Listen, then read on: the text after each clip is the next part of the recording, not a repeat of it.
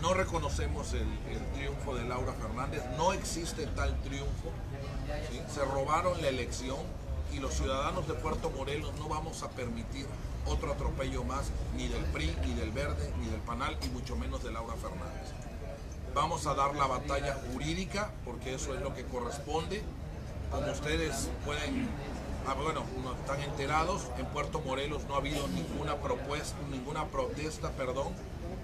No vamos a salir a las calles, no vamos a movilizar gente, no vamos a dar pie para que tengan elementos para ellos poder avalar su fraude.